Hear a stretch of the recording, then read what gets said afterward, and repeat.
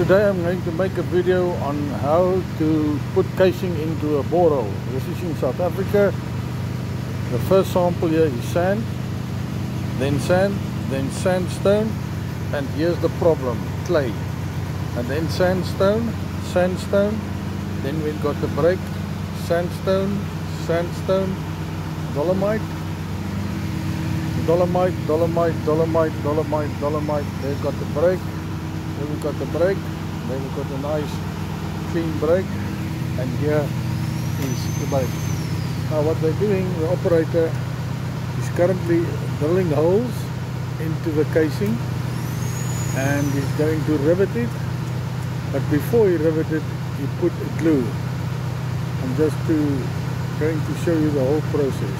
Nice. Lift it up with a hoist. That's it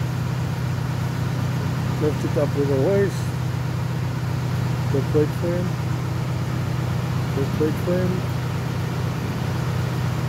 lift it that's it. Well done. Lift it up with the hoist take the peg out. Maybe. put the peg out.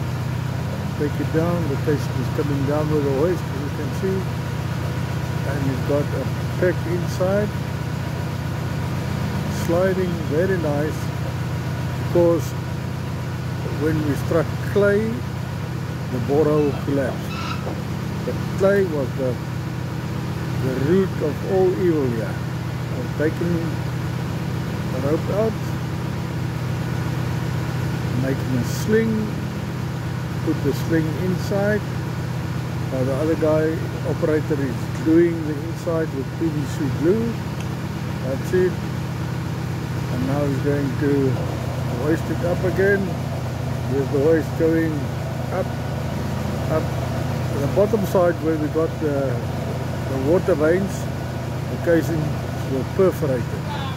Now the top side where the clay is, that's where we put the solid casing. Now he's putting glued to the other side of the PVC pipe. Other side, that's it. Now the other operator is turning, they know they're working in a team. That's it. Nearly there, nearly there, nearly there, nearly there, nearly there. Put it in, hoist goes down inside. Now he's going to drill. Just a moment drill it put the pop rivet in.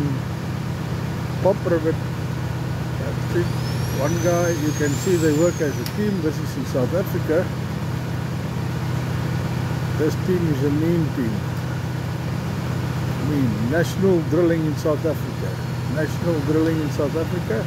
They're on the south coast of South Africa. KwaZulu Natal based a very professional team very professional. As you can see working in a team together. That's it. And the other guy is already ready with the next pipe waiting. Just so waiting. That's it. Rivet it my man. Rivet it.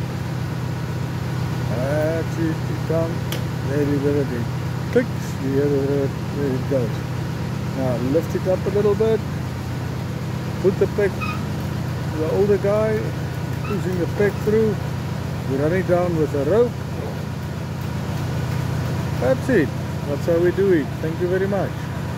Professional.